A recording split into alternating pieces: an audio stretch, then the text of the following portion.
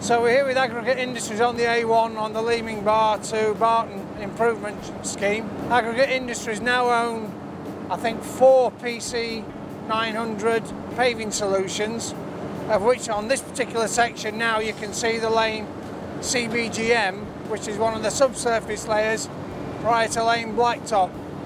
They'll then be laying blacktop using the 3D solution also. We have a, an array of total stations down the road which are locked onto the prism onto the machine.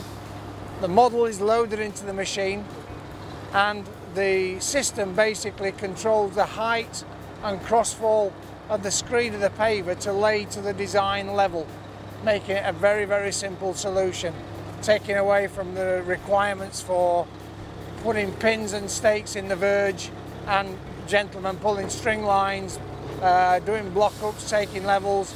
This is now a fully automated process.